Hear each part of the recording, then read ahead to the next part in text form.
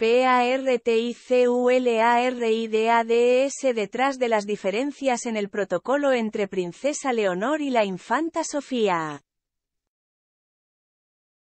Nacer en el seno de una familia real puede tener diferentes implicancias, como sucede con la Princesa Leonor y la Infanta Sofía, que pese a haber sido criadas sin diferencias, debido al protocolo sus vidas han estado marcadas desde sus nacimientos y, desde el vamos, serán diferentes a medida que pasen los años.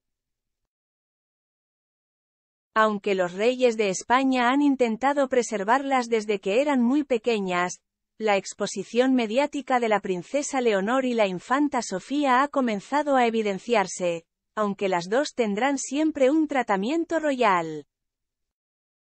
La princesa Leonor, nacida apenas un año después de la boda del rey Felipe y de la reina Leticia, recibió de inmediato el título de princesa, mientras que Sofía, dos años más joven, fue designada como infanta. Esa fue la primera diferencia entre ambas.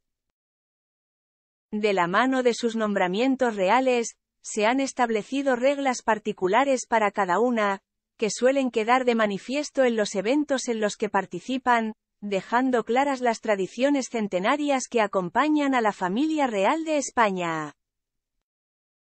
El momento que separó para siempre a la princesa Leonor de la infanta Sofía. En 2014, cuando el rey Felipe ascendió el trono se marcó la divergencia significativa en los destinos de sus dos hijas. La princesa Leonor recibió el título de princesa de Asturias, asumió la presidencia de la fundación homónima y se convirtió en la primera en la línea de sucesión al trono. En cambio, la infanta Sofía conservó el título que había llevado durante los siete años previos, sin mayores responsabilidades. Pese a los esfuerzos de la reina Leticia por retrasar los impactos de los títulos en la vida y relación de sus hijas, en 2018 se revelaron distintos protocolos durante el primer evento oficial de Leonor, el desfile por la fiesta nacional, por los 30 años de la incorporación de las mujeres al ejército español.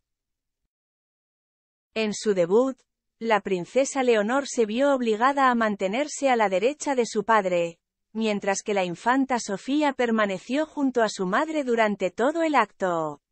Esta fue también la primera vez que la princesa heredera lució la insignia del toisón de oro, una de las máximas condecoraciones de la corona española, impuesta por el rey en el Palacio Real.